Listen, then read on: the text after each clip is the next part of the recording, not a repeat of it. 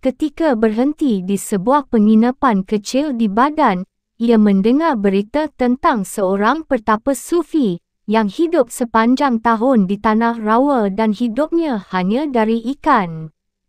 Segera ia pergi untuk melihat pertapa itu dan mendapatkannya sedang duduk dalam sebuah serambi masjid yang sudah jadi puing. Syekh tersebut memberikan anak muda itu doa yang diharapkan dan bahkan memberinya seekor ikan besar untuk makan malamnya. Ibnu Batutah mengisahkan di dalam rihlah bahawa ia memperoleh kesan mendalam dari pertemuan tersebut, sampai kepada titik, untuk sesaat aku terhibur dengan gagasan ingin melalui sisa hidupku untuk melayani syekh itu. Memang agaknya ia kembali terpesona oleh jenis asketisisme tanpa pamrih itu, barangkali sebuah tarikan hati yang dirasakan oleh banyak orang lebih duniawi dan penuh gairah dari waktu ke waktu. Sepanjang karirnya ia telah mengalami krisis-krisis kejiwaan kecil ketika ia berfikir untuk melepaskan petualangan hidupnya dan menukarnya dengan kehidupan tanpa pamrih dan membayangkan kegembiraan seorang pengikut sufi yang sebenarnya. Tetapi pada akhirnya, seperti yang ia sebut kesungguhan jiwaku, telah keluar dengan kemenangan, dan ia kembali ke jalanan dan memasuki urusan-urusan duniawi. Dalam hal ini ia kembali ke jalanan dalam kekosongan waktu. Di bawah desakan seorang kenalan dari Basrah, ia membuat rencana pergi ke Baghdad bukan dengan jalan memutar dan kembali ke ujung awal sungai Tigris, tetapi dengan membuat jalan menuju pegunungan Luristan di Persia, jelas dalam arah yang salah. Rencananya ialah membuat suatu perjalanan panjang ke sebelah timur Mesopotamia melalui wilayah Persia Jibal atau apa yang ia sebut Iraq Al-Ajami. Memang pada titik ini, dalam catatan perjalanannya ia bicara tentang kebiasaannya untuk mengelak dari jalan mana saja yang telah ia lalui. Bila rencana itu dilaksanakan, tujuan penting berikutnya ialah kota Isafahan di Provinsi Jibal, sisi jauh dari pegunungan Zagros yang tampak angkuh. Rupanya ditemani kawannya dari Basrah, ia pergi naik kapal dari Abadan ke arah timur sepanjang garis pantai delta ke pelabuhan Machul, sekarang Bandar Imakshur di bagian Iran wilayah Mesopotamia. Di tempat ini ia menyewa seekor kuda dari beberapa pedagang dan menuju ke arah utara melintasi dataran Kuzistan, sebuah provinsi tanah rawa dan ladang-ladang tebu. Ia mengikuti alur jalan yang umumnya melalui kota-kota pertanian Ramhormos Ramis dan Shusta atau Tusta, kemudian berputar ke arah barat untuk berhadapan dengan pegunungan Zagros, yang mendadak menjulang tinggi seperti barikade yang terbuat dari batu karang di sepanjang sabuk sebelah timur dataran itu. Batu-batu karang dan puncak-puncak gunung yang membentuk perbatasan alamiah antara Mesopotamia dan dataran tinggi Iran dihuni para penggembala yang gagah berani yang disebut orang Lo. Di zaman Hulagu Khan, orang-orang Mongol telah menaklukkan negeri ini kerana terpaksa. Tetapi berhubung isolasinya yang liar terpisah dari pusat-pusat administrasi, mereka menyerahkan hukum dan tata tertib ke tangan dinasti pemakai yang terdiri atas para bangsawan, suku, yang disebut Atabek. Ibnu Batutah menganggap beberapa hal adat istiadat bangsa Lur benar-benar kurang ajar dan heterodoks tetapi para atabek dan sekelompok kecil kaum terpelajarnya dari desa-desa dan tempat-tempat penginapan memperlakukannya dengan baik dan seperti biasa, memberikan hadiah-hadiah bagi para musafir. Dari Idhaj atau Malamir, dan sekarang Ize, ibu kota pegunungan para atabek, ia melangkah maju ke arah timur laut melalui lintasan-lintasan tinggi yang dingin dari pegunungan Zagros, waktu itu mungkin bulan Maret. Setelah itu ia pergi ke kota Taman Isfahan yang terletak di sisi barat pusat dataran tinggi pada ketinggian 4,690 tanda pagar kaki kini berada di jantung Persia. Ia memperoleh penginapan yang tampaknya sebuah pusat sufi dengan proporsi-proporsi berlimpah, bukan saja memiliki sebuah masjid, sebuah dapur, dan ruangan-ruangan untuk para pengikut tarikah dan musafir, tetapi juga sebuah tempat mandi hamam berlantai marmer. Pemimpin setempat Zawiyah itu seorang Persia bernama Kutub Aldin Hussain. Ia juga seorang syekh aliran tarikah Surawardiyah, salah satu aliran tarikah terbesar dari akhir zaman pertengahan dengan penyebaran cabang-cabangnya di bagian timur negeri-negeri Islam, termasuk India. Pada suatu hari, tamu yang masih muda ini sedang melihat keluar jendela kamarnya di tempat penginapan itu dan melihat sebuah kirga atau jubah sufi terhampar di kebun untuk dikeringkan. Ia mengingat pikiran dalam dirinya sendiri bahawa ia ingin memiliki satu dari yang ada. Ia pernah bertemu Sheikh Tarikah Rifayah di Yerusalem sebagai lambang hubungan kehormatan dengan aliran Tarikah Surawardiyah. Saat berikutnya Kutub Aldin mendadak memasuki kamarnya dan memerintahkan seorang pelayan untuk mengambil jubah itu yang ia lemparkan ke atas bahu tamunya. Dengan rasa heran dan takjub, Ibnu Batutah merunduk untuk mencium kaki Syekh kemudian dengan sikap tidak sabar memohon supaya ia dapat menerima juga tutup kepalanya yang penuh berkat itu.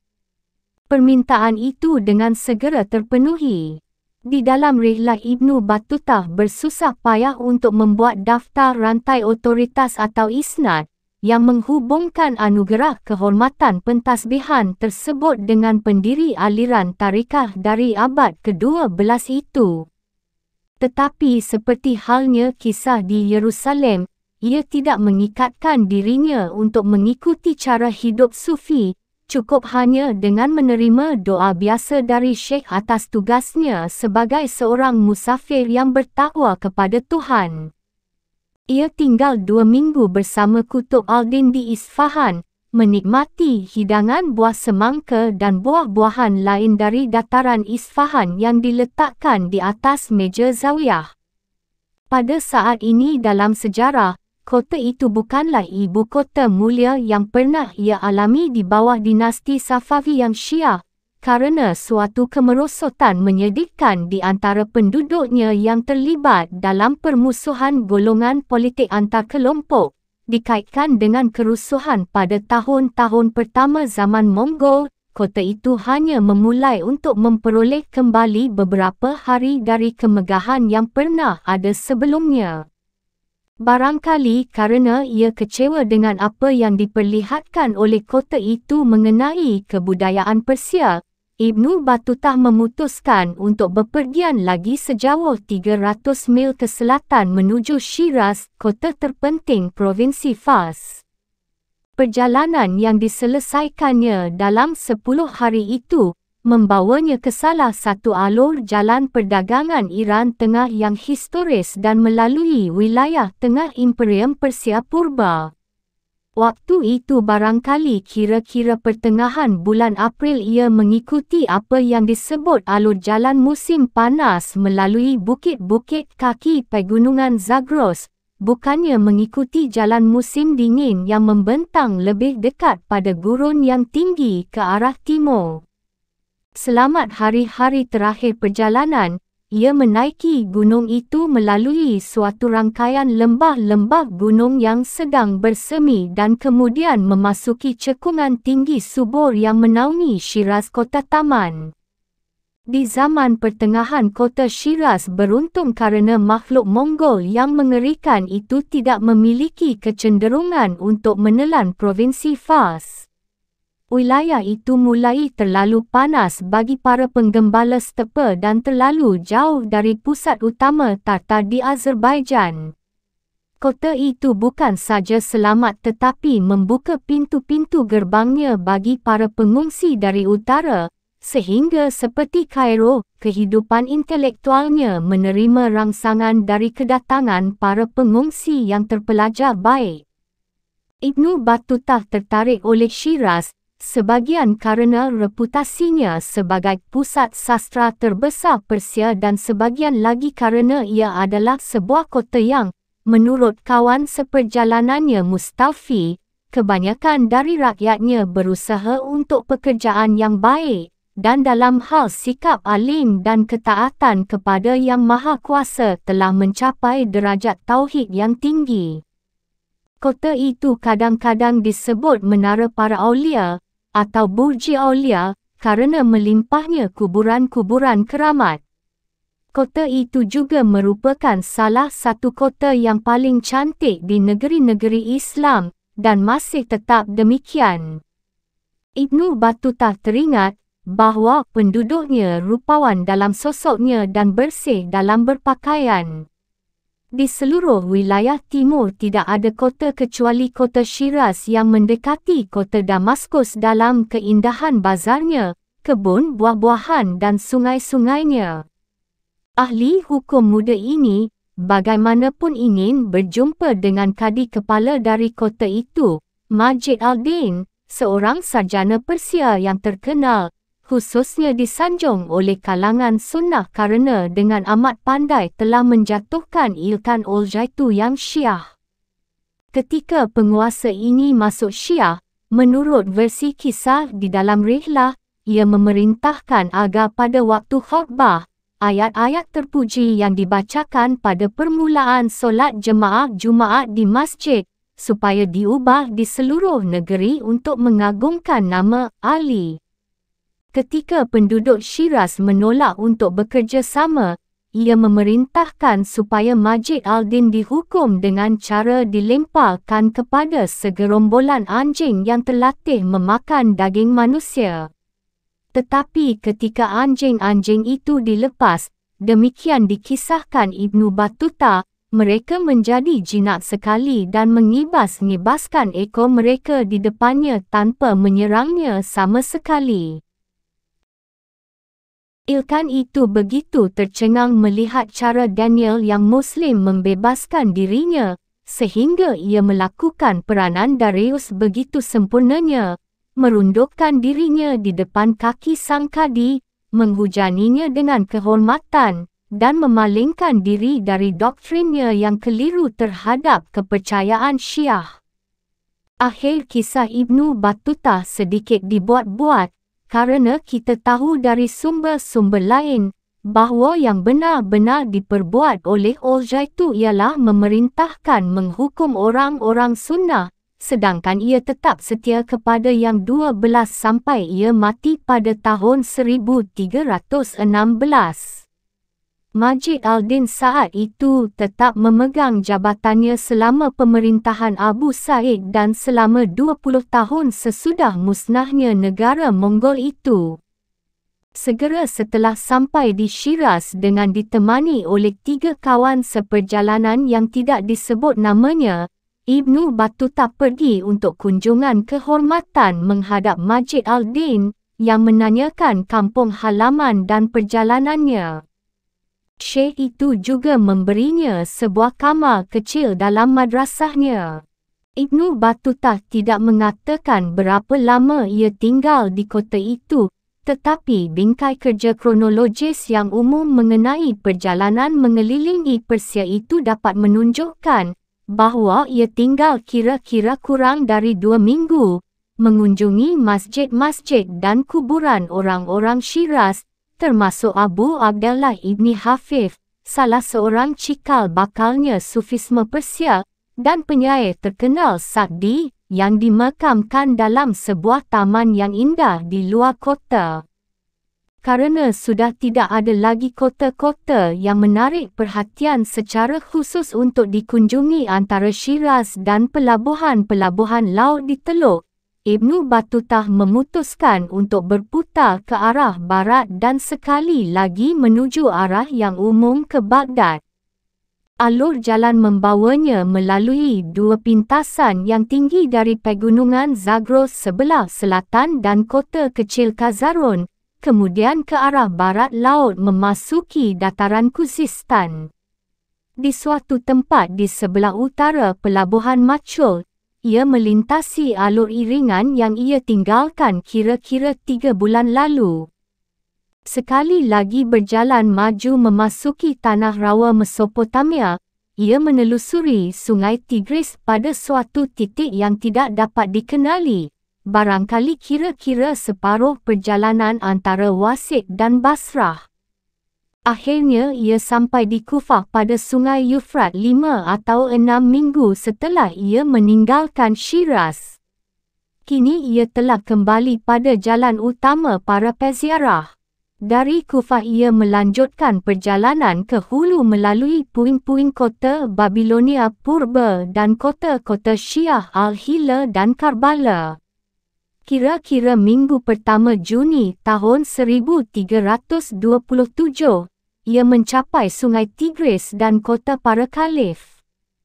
Ia memberikan kesan pasti di dalam rihlah bahawa ia bepergian ke Iraq pertama-tama untuk melihat Baghdad tetapi ia tidak mempunyai bayangan mengenai keadaan kota yang menyedihkan itu pada waktu zamannya.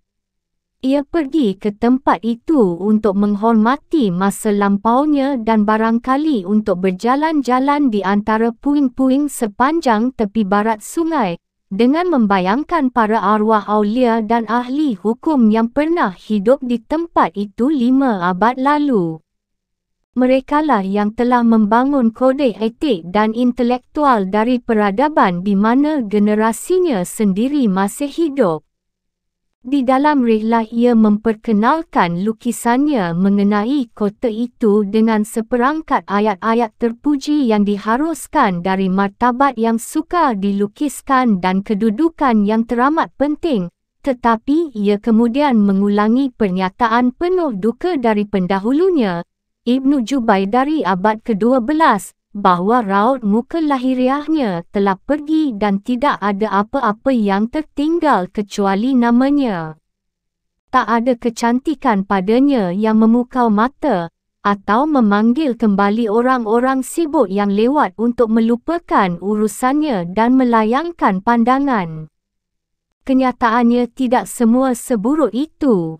Seperti halnya pasir yang meninggi dalam parit-parit irigasi, rasa duka kota itu menyusut secara bertahap dalam kebanyakan periode hampir tak tampak. Walaupun berkali-kali pengambil alihan kekuasaan militer Turki, permusuhan sektarian, perang antar kelompok urban, dan penanganan arus air banjir pada tanggul-tanggul yang tidak terawat, Baghdad masih memiliki bagian yang baik dari kemakmuran perdagangan internasional dan sisa-sisa gengsinya sebagai ibu kota para khalifah lama sesudah abad ke-8 dan ke-9 yang gilang gemilang itu. Bahkan orang-orang Mongol yang pernah merampok itu banyak menyisakan bangunan-bangunan pemerintahan yang masih berdiri dan sejumlah orang masih tetap hidup. Tapi ternyata tentara Hulagu Han baru saja merampok ketika ia memerintah dengan gaya khasnya bahawa program pemulihan yang giat sudah seharusnya dimulai. Di bawah administrasi pejabat-pejabat Arab dan Persia setempat, kota itu dengan cepat menjadi ibu kota provinsi di Mesopotamia. Baghdad bukan lagi sebuah tempat perhentian yang penting bagi suatu widya wisata di Timur Tengah dan Ibnu Batutah menemukan banyak sekali puing-puing sekolah tinggi. Tetapi pengajaran berlanjut, khususnya di Nizamia, prototipe abad ke-11 dari Madrasah keempat Mazhab, dan di Mustan Syria, sebuah sekolah tinggi yang dibangun tahun 1234 untuk menyediakan jabatan-jabatan profesional dan ruangan-ruangan kuliah bagi keempat mazhab hukum yang utama. Masjid para Khalifah, salah satu di antara masjid jamik yang besar terletak di sisi sebelah timur sungai, telah habis dibakar saat penyerbuan orang-orang Mongol. Tetapi Ibnu Battuta mendapati seluruhnya telah dibangun kembali dan memberikan kajian-kajian lebih lanjut. Sekalipun ia tinggal hanya dua atau tiga minggu di kota itu, ia mempunyai waktu untuk pergi ke masjid, mendengarkan seperangkat kuliah mengenai salah satu kumpulan penting hadis-hadis Nabi. Apabila Baghdad dapat memberikan lebih banyak, mungkin ia merasa bersyukur dapat tetap tinggal di kota itu sepanjang musim panas sambil menunggu keberangkatan karavan haji dalam pertengahan bulan September. Setiap musafir yang kurang kawakan seperti dirinya, barangkali akan merasa berterima kasih untuk mengalami masa istirahat yang panjang ini sebelum memulai perjalanan lain melintasi tanah Arab yang liar itu. Tetapi tanpa dapat diduga sebelumnya, suatu petualangan baru mendadak tiba menghadangnya dan sama sekali tidak sesuai dengan wataknya bila ia membiarkannya lolos. Ia tiba di Baghdad dan mengetahui bahawa ia kan kebetulan sedang berada di kediamannya, barangkali menghabiskan waktu musim dingin di kota ini sebagaimana para penguasa kadang-kadang melakukannya untuk melarikan diri dari udara dingin Azerbaijan. Pada saat itu Abu Said sedang membuat persiapan untuk kembali ke utara, kemungkinan sekali kesultannya ibu kota yang dibangun oleh ayahnya, Oljaitu Khan. Ilkan selalu bepergian disertai iringan yang besar sekali, yang dalam bahasa Arab disebut mahalla atau kem, yang sebenarnya bila dikatakan seluruh istana kerajaan dalam keadaan bergerak, beberapa amir dan pasukan-pasukan bersenjata mereka, 10,000 personel keagamaan dan administrasi, serta sebuah pasukan kecil pelayan dan budak. Sebagai tambahan, para isteri dan para selir kesayangannya yang disebut Hatun, masing-masing mempunyai bagian tempat tidur beserta pengawal dan pejabat-pejabatnya. Ibnu Batuta segera mengambil kesempatan untuk ikut serta dalam iringan kerajaan itu dengan tujuan, demikian ia menjelaskan, untuk melihat upacara yang diamati oleh Raja Al-Iraqi pada waktu bepergian dan bertenda dan cara ia bertransportasi serta bepergian. Baik sebelum meninggalkan kota Baghdad ataupun dalam perjalanan dengan mahala itu, ia berupaya untuk memperoleh jaminan pengayoman dari Ala al-Din Muhammad, salah seorang dari jenderal-jenderal Ilkan yang terkemuka. Abu Said, raja terakhir orang-orang Mongol di Persia, menaiki tahta kerajaan tahun 1316 pada usia 12 tahun. Kenyataannya, ia satu tahun lebih muda dari Ibnu Battuta yang melukiskannya sebagai paling cakap di antara makhluk-makhluk ciptaan Tuhan dalam bentuk sosok tubuhnya dan tak ada yang tumbuh pada dagunya. Musafir itu pun mengaguminya kerana mutu penampilan yang beradab. Ia bukan saja seorang pengikut sunnah yang setia, tetapi juga pemurah, alim dan penuh toleransi. Menurut Tagribirdi, seorang penulis asal Mesir dari abad ke-15, ia adalah seorang putera raja yang terkenal dan pemberani, dengan sikap mengesankan, pemurah dan luas. Ia menulis baik dalam bahasa Arab maupun bahasa Parsi dengan tulisan tangan yang indah, meniup seruling, mengarang lagu dan syair. Dan di bagian akhir masa pemerintahannya, malahan telah meringankan beban pajak para petani. Apabila beberapa orang Mongol pendahulunya peminum alkohol yang kecanduan dan beberapa di antara mereka mati karenanya, ia justru melarang penggunaan minuman keras dalam kerajaannya sesuai dengan hukum syariat, tetapi mengenai apa hasilnya, kita tidak tahu. Agaknya hanya sedikit wataknya yang mengingatkan kepada buyutnya Genghis Khan. Ia lebih banyak mewakili peralihan yang definitif dari negara Ilkhanate menjadi kebudayaan Persia yang serba halus. Barangkali, apabila ia memerintah lebih lama, ia dapat menjadi seorang tokoh pembangunan yang besar seperti tokoh sezamannya, yakni Al-Nasir Muhammad dari Mesir. Tetapi apa yang terjadi, dasar-dasar politik yang ia letakkan selama 8 tahun pemerintahannya tidak cukup kuat untuk menjamin kelangsungan hidup pemerintahannya, yang jatuh sekaligus pada saat kematiannya pada tahun 1335, meninggalkan Persia yang harus menghadapi sisa abad itu dalam keadaan fragmentasi dan peperangan.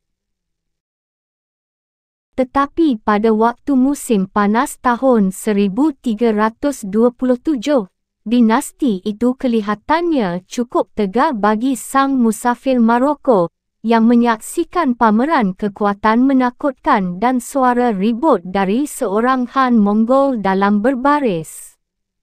Setiap Amir tampil bersama pasukannya, genderang-genderangnya dan bendera-benderanya serta berhenti dalam posisi yang sudah ditetapkan baginya, tidak bertambah satu langkah pun, baik yang ada di sayap kanan maupun yang ada di sayap kiri.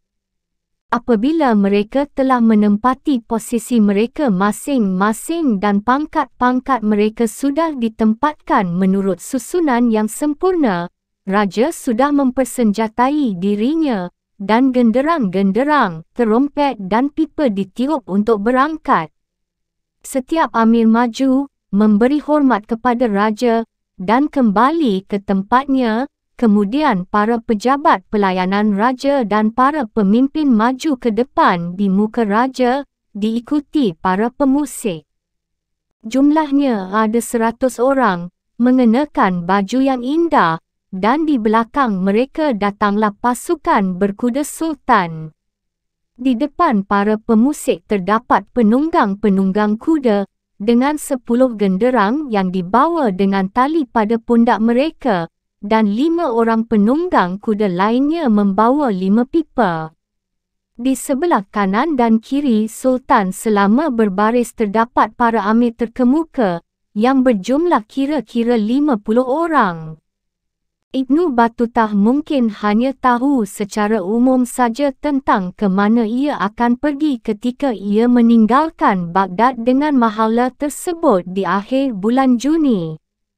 Dalam deskripsinya tentang perjalanan itu ia tidak menyebutkan nama-nama perhentian mana pun tetapi hanya menyatakan bahawa ia bepergian bersama iringan Ilkan selama 10 hari. Sang Raja hampir pasti sedang menuju ke ibu kota yang baru, Sultaniah 172 mil arah utara dari Teheran, barangkali mengikuti jalan lintas Persia, Jalan Raya Khurasan, melalui jalur Kermanshah, Zagros Tengah dan Hamadan. Di suatu tempat dekat Hamadan, Amir Ala al-Din Muhammad, pengayom Ibnu Battuta, mendadak diperintahkan untuk meninggalkan Mahala dan meneruskan ke arah utara menuju Tabriz, wilayah perdagangan penting. Ia hampir pasti melakukan perjalanan tanpa apa-apa, bergerak dengan cepat dan Ibnu Battuta diajak ikut bersamanya. Rute jalan ke Tabriz kembali sebuah misteri, tetapi kelompok itu mungkin mengambil jalan raya tua Abbasiyah dari Hamadan ke arah barat laut melewati pegunungan, melintasi bagian timur Danau Urmia. Sementara itu, Abu Said dan iringannya berjalan terus menuju Sultania. Ibnu Battuta dapat mencatatnya sebagai suatu kejutan nasib yang mujur untuk memperoleh kesempatan berkunjung ke Tabriz dengan cara tak terduga, kerana kota itu merupakan kota orang-orang Mongol Persia yang paling terkemuka bahkan dalam sejarah merupakan satu di antara pusat-pusat perdagangan dunia Eurasia. Tabriz terletak di dataran yang berumput subur, sampai ke sebelah selatannya didominasi oleh puncak Gunung Sahan yang tingginya mencapai 12,000 kaki. Tabriz tidak lebih hanya merupakan kota utama di wilayah itu sampai orang-orang penggembala Turko-Mongol masuk membanjiri Azerbaijan. Migrasi ini menghasilkan peralihan dramatis baik dari kekuatan militer maupun pertumbuhan penduduk yang keluar dari Mesopotamia menuju sabuk Persia bagian barat laut yang tinggi letaknya.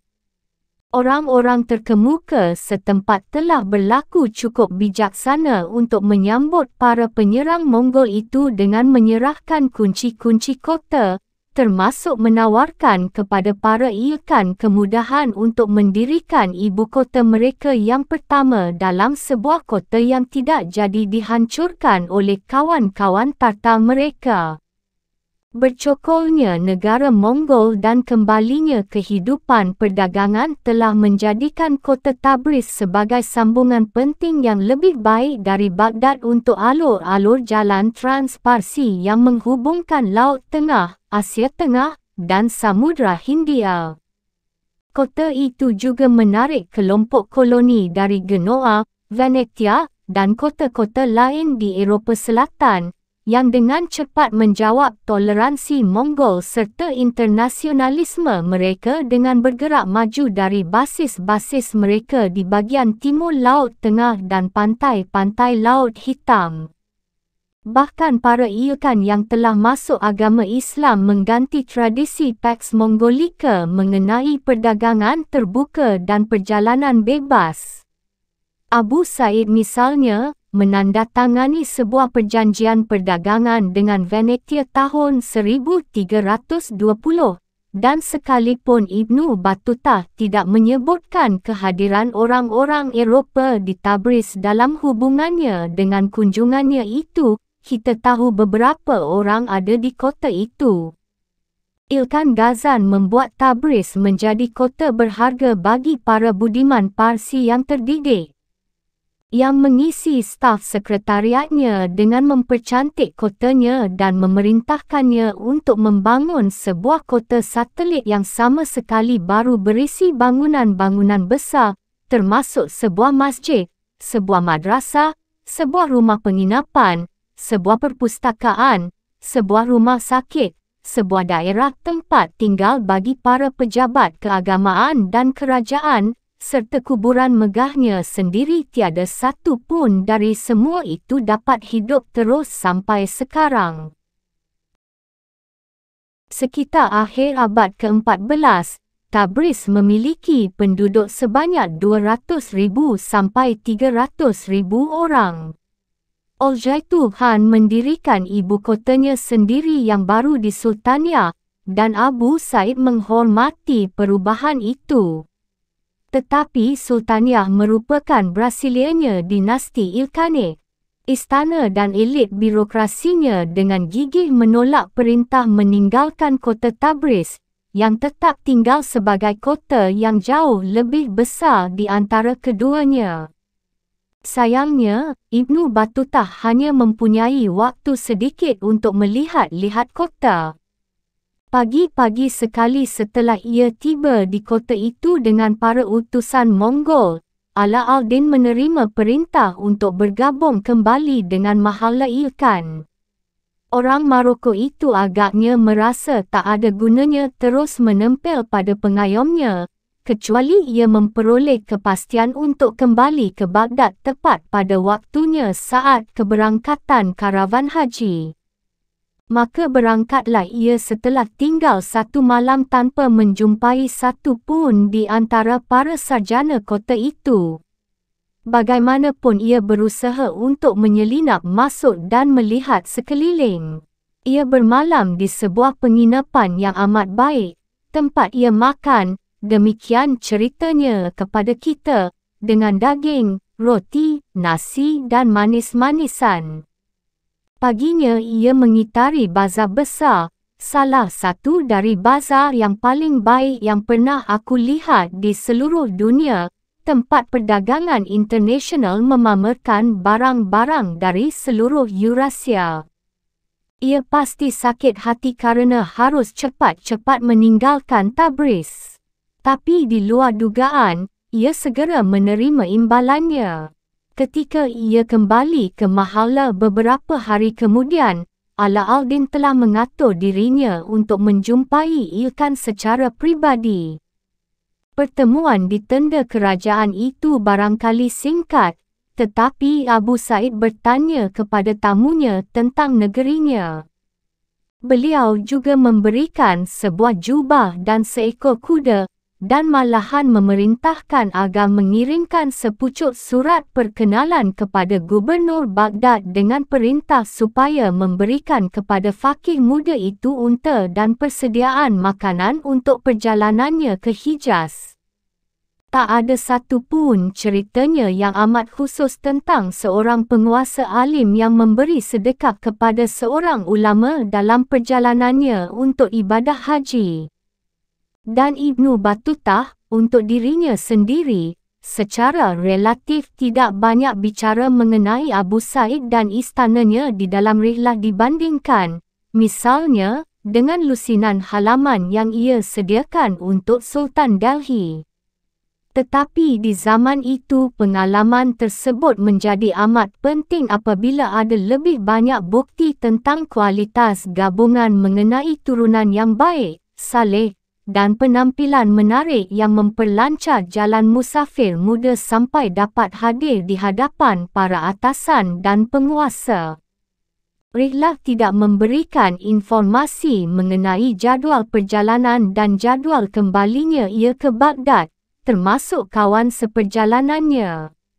Keseluruhan perjalanan pulang pergi mengambil waktu paling sedikit 35 hari kerana untuk bagian terbesar ia lalui dengan utusan kerajaan yang bergerak cepat.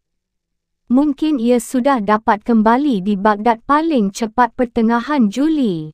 Ia masih mempunyai waktu dua bulan untuk menunggu karavan haji yang secara tradisional meninggalkan Baghdad pada tanggal 1 Zulkaidah atau tahun itu jatuh tanggal 18 September.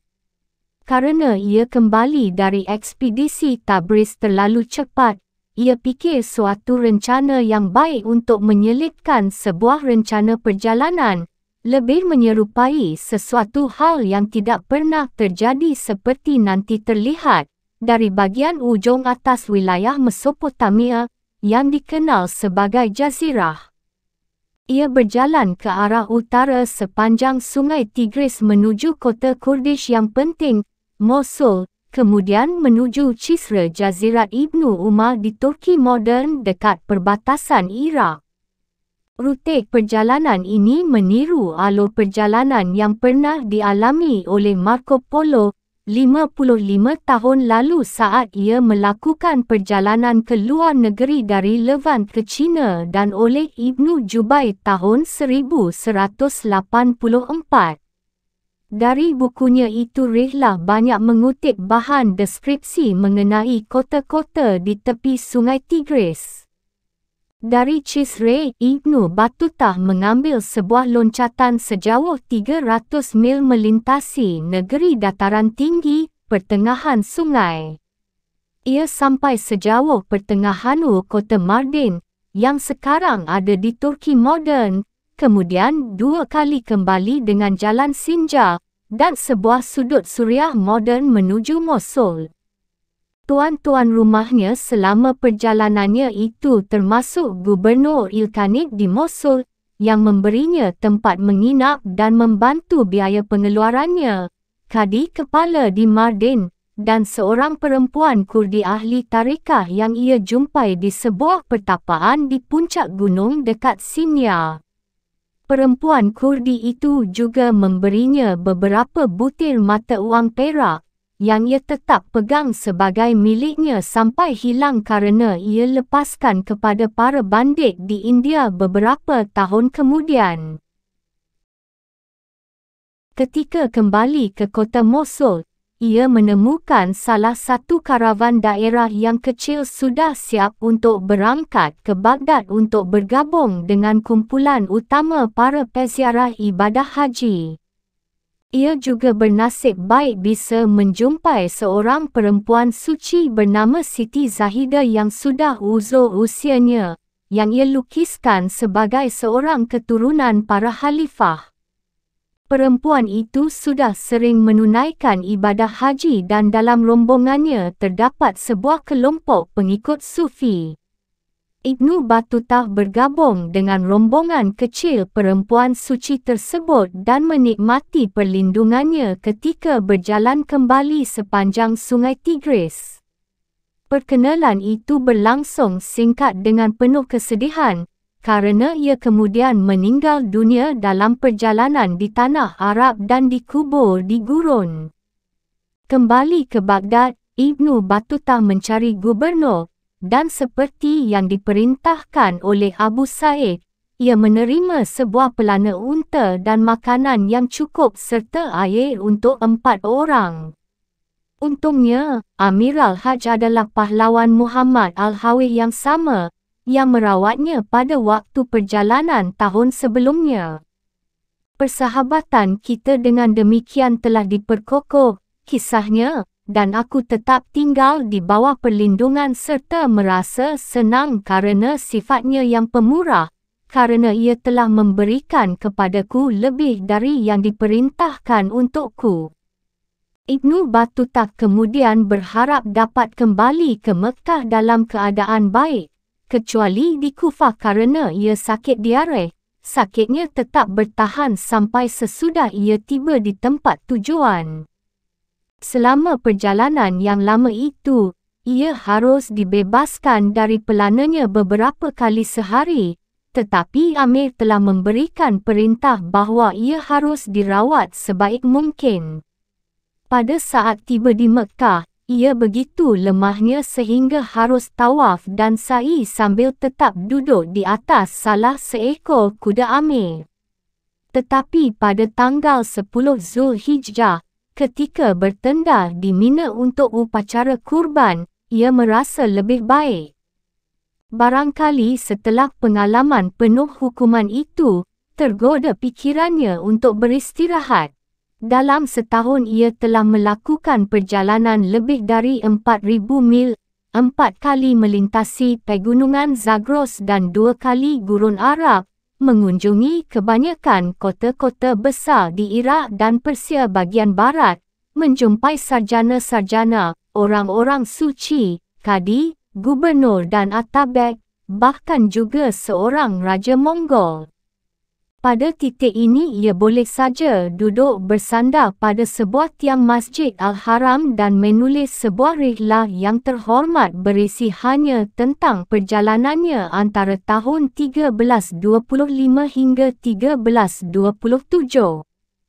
Tetapi perjalanannya ke Persia akan muncul berupa retrospeksi, lebih sedikit daripada sebuah langkah percobaan bagi barisan heroiknya yang menyusul apa yang ia perlukan pada akhir tahun 1327 ialah sebuah interval untuk istirahat, ibadah solat dan munajat serta studi.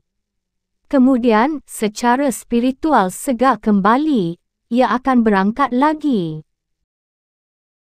Bab ke-6, Laut Arabia Allah yang menundukkan laut untukmu, supaya kapal berlayar di sana dengan izinnya dan supaya kau mencari karunia-Nya dan mudah-mudahan kau berterima kasih kepadanya. Al-Quran Surah Al-Jatsiyah ayat 12 Di dalam rihlah, Ibnu Battuta dengan singkat melukiskan suatu masa ia bermukim di Mekah selama kira-kira tiga tahun, dari September tahun 1327 sampai musim gugur tahun 1330. Kenyataannya, keseluruhan pola kronologis tentang perjalanan-perjalanannya dari tahun 1327 hingga tahun 1333 menyarankan bahawa ia telah bermukim di kota itu hanya kira-kira satu tahun kembali ke jalanan pada tahun 1328. Dalam kedua kasus itu ia telah menghabiskan suatu periode yang diperpanjang di kota suci itu, hidup sebagai seorang musafir atau seorang sarjana pengelana. Aku menjalani hidup yang paling patut diterima, ceritanya di dalam rihlah, menyerahkan diriku untuk melakukan tawaf, ibadah dan amal saleh dan sering melakukan ibadah haji kecil atau umrah.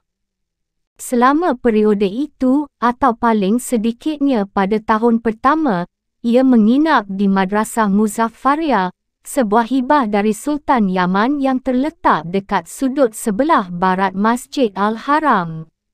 Sebagai seorang peziarah yang bermukim ia tidak mengalami kesulitan untuk dapat bertahan hidup berkat kemurahan para pemberi sedekah dan para pengayom yang terpelajar.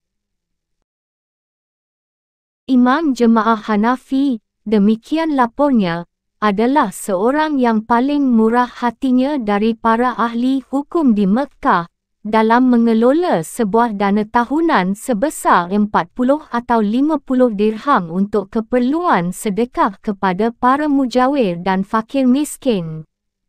Pemurah khusus orang muda asal Maroko itu ternyata adalah ahli hukum terhormat asal Afrika Utara, dikenal sebagai Khalil. Orang bijak itu adalah kadi kota Mekah pada saat itu dan imam ritual ibadah haji. Ketika Ibnu Battuta tinggal di Muzaffaria, Syekh itu telah mengirimkan roti dan makanan-makanan lain kepadanya setiap hari setelah solat asar. Rihlah telah merangkum pemukiman Ibnu Battuta ke dalam beberapa paragraf yang singkat dan kurang banyak dikatakan tentang pengalamannya sendiri dibandingkan jati diri pelbagai tokoh yang tiba dengan karavan-karavan haji. Sudah barang tentu para pembaca Muslim catatan perjalanan itu tidak perlu lagi diberikan laporan yang luas tentang bagaimana seorang musafir melewati waktunya di kota suci. Sudah sewajarnya bahawa seorang yang saleh akan menjalani kehidupan penuh kedamaian dari amal ibadah, ketaatan, persahabatan dan belajar. Namun adalah aneh jika Ibnu Battuta tidak menyebutkan tentang keikutsertaannya mengikuti kuliah-kuliah bagi studinya dengan salah seorang di antara guru besar-guru besar terkemuka. Ia sama sekali tidak membicarakan tentang buku-buku yang ia pelajari atau tentang ijazah yang ia kumpulkan, seperti yang ia perbuat sehubungan dengan saat ia tinggal dahulu dalam waktu yang lebih singkat di Damaskus. Tetapi kita boleh menduga bahawa ia menghadiri kuliah-kuliah tentang ilmu hukum dan hal-hal lain di dalam Masjid Al-Haram atau pada sekolah-sekolah tinggi yang ada di sekitarnya. Masjid Al-Haram adalah lembaga pusat pengajaran di Mekah, artinya tempat jumlah kelas terbesar yang berkumpul setiap harinya. Ulama yang terkemuka dari kota itu mengawasi hak untuk mengajar di tempat itu, mencegah setiap orang asing yang terpelajar untuk seenaknya berjalan masuk dan membangun sebuah kelas. Hanya setelah pengetahuan dan reputasi sarjana itu telah diuji dengan sebaik-baiknya ia dapat menggelar karpet atau lampitnya pada suatu tempat yang ditunjuk dalam serambi, sebuah tempat yang sempit, barulah ia mempunyai hak untuk mengisi pengajaran sepanjang satu tahun penuh, bila tidak untuk seumur hidupnya. Guru besar selalu mengajar dengan muka menghadap Kaabah, para siswanya diatur dalam sebuah lingkaran mengelilinginya, yang ada di belakangnya duduk dekat sekali sehingga mereka dapat menangkap setiap kata. Ukuran kelas-kelas itu bermacam-macam, seperti halnya setiap universitas moden, tergantung subjek yang sedang dikaji dan tersohornya sang empu. Setiap orang bebas untuk mendengarkan, dan di seputar pinggiran luar lingkaran tersebut orang pun datang dan pergi sesuka mereka. Sebuah kelas biasanya berakhir kira-kira dua jam, termasuk membaca sebuah teks, komentar tentangnya dan pertanyaan-pertanyaan. pengajaran dimulai pagi sekali dan bila Ibnu Battuta bermaksud untuk menghadiri kuliah yang pertama pada pagi hari ia harus sudah ada di Masjid Al-Haram tepat setelah solat subuh ketika lingkaran-lingkaran pelajaran mulai berkumpul. Pada jam-jam di sore hari, para siswa itu berkumpul di taman terbuka di sekitar Kaabah tetapi apabila matahari Arabia muncul di atas tembok masjid sebelah timur, mereka segera mundur dan masuk ke bawah bayangan serambi. Pelajaran-pelajaran yang paling penting berlangsung selama jam-jam teduh pada pagi hari dan pada bagian akhir sore hari. Tetapi lingkaran-lingkaran itu dapat dilihat di dalam masjid setiap waktu dalam sehari, menerapkan diri mereka pada ilmu-ilmu keagamaan atau subjek-subjek bantuan tata bahasa, bercakap-cakap, kaligrafi, logika atau seni sajak. Malahan di petang harinya antara solat maghrib dan solat isyak, seorang guru besar boleh saja masuk dan mengajarkan dengan pembacaan dan komentar tambahan. Pada setiap hari Jumat kebanyakan kelas itu dihentikan sementara. Jemaat mengasyikkan diri dengan solat dan mendengarkan khutbah.